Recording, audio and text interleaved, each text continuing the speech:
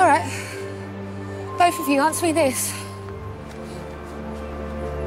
When I last stood on this beach on the worst day of my life, what was the last thing you said to me? Go on, say it. I said Rose Tyler.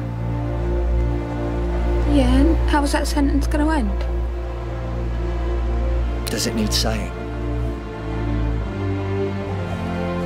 And you, Doctor? What was the end of that sentence?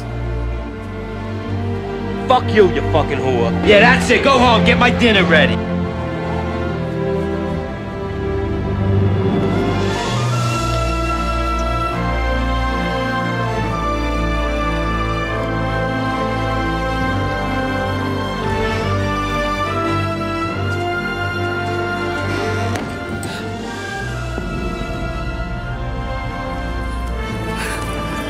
Mama's little tramp.